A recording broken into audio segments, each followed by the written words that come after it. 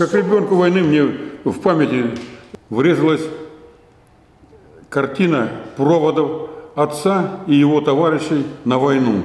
В июле 41 года собрались мужчины, которые были призваны по повестке на войну, с котомками все, женщины, дети.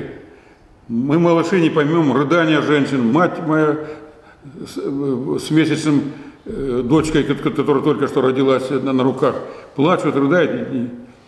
Картина очень тяжелая, стоит полуторка зеленая, на ней пять лавок э, и около 20 человек мужчин. Команда построится, прощание закончено. Отец прошел всю войну и вернулся только уже в сентябре 45 года, когда разгромили э, японцев. Во время отсутствия мужчин оставшиеся женщины продолжали работу по строительству дороги Мать приходила уставшая. Мне приходилось уже чуть-чуть подрос ухаживать и за сестренкой, и помогать матери во всем по хозяйству.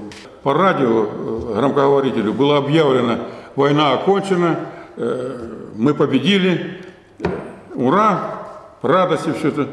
И э, началось ожидание наших отцов с войны. После военные годы. Я хорошо помню Миллерова, разрушенный, разбомбленный, улица Ленинская, ну, практически вся была. Это сейчас она восстановлена, кроме кинотеатра.